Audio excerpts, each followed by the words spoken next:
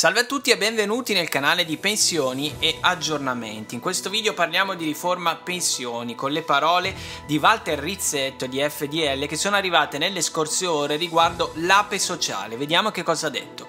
Prima di visionare il video come sempre vi invito ad iscrivervi al canale e a schiacciare sulla campanella per rimanere sempre aggiornati ogni volta che sarà caricato un nuovo video sul canale.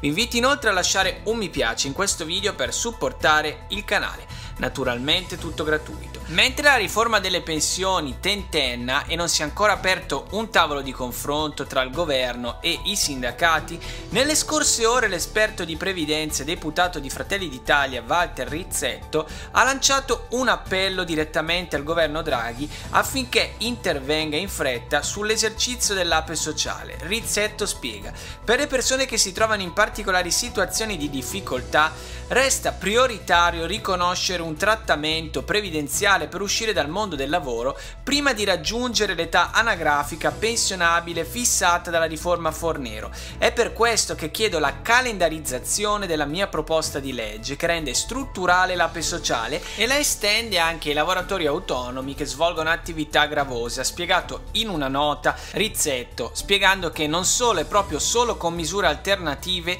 che si possono prevedere maggiore flessibilità per l'accesso all'assegno assegno pensionistico possiamo mitigare il duro impatto che ha avuto la Fornero. E anche per oggi è tutto, se non l'avete già fatto vi invito nuovamente ad iscrivervi al canale e a schiacciare sulla campanella per rimanere sempre aggiornati ogni volta che sarà caricato un nuovo video sul canale.